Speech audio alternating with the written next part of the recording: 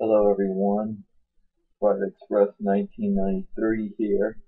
I will be doing a review for Mozilla Firefox 4 for Microsoft Windows. It's also compatible with Linux and Mac OS X. This is version 4.0.1. This right now, this is the latest version so far.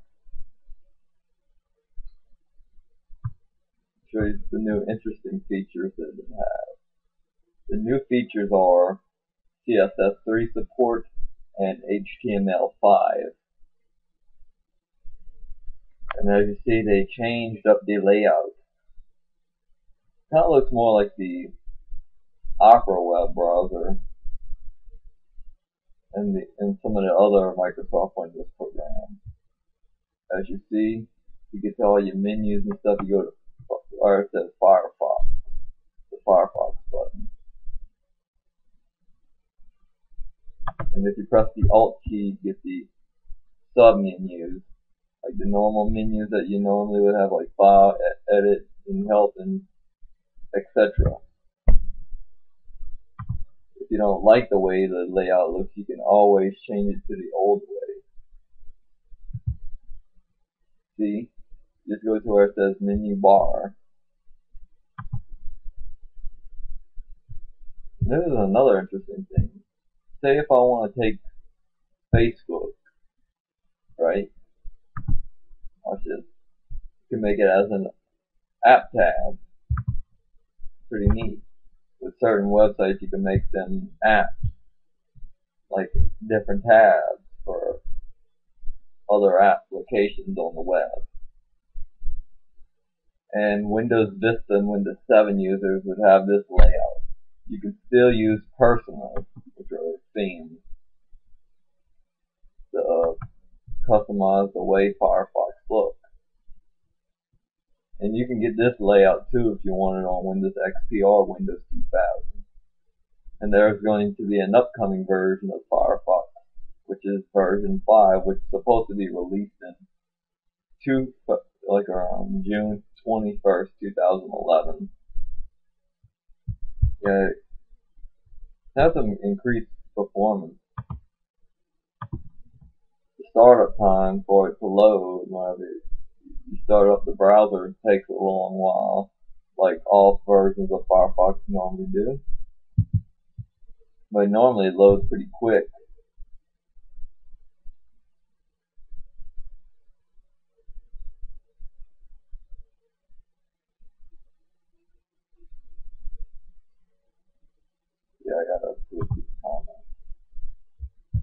But YouTube sometimes glitches. And as you see here, so here's one of my videos I'm going to show you.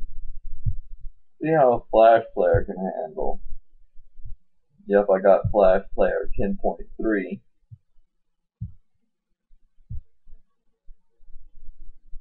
Turn the volume down.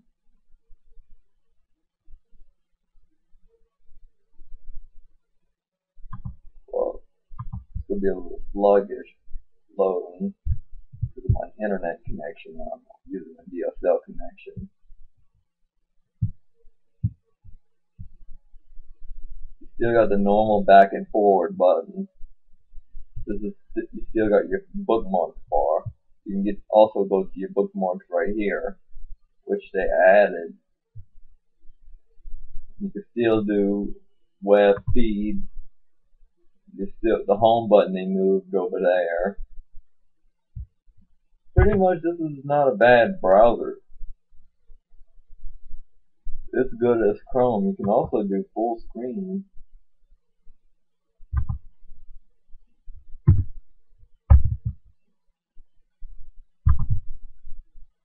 But still got the normal button. And you got Aero support as well if you're using Windows 7. And it does have some Windows 7 integration. And you still got private browsing. But they're supposed to be releasing a Firefox 5 soon, around June 21st. I don't know if it's true or not. It's like they, like they trying to compete with Google Chrome, which is this web browser right here.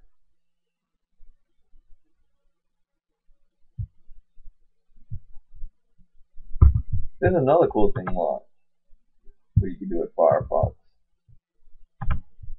Put them in separate windows.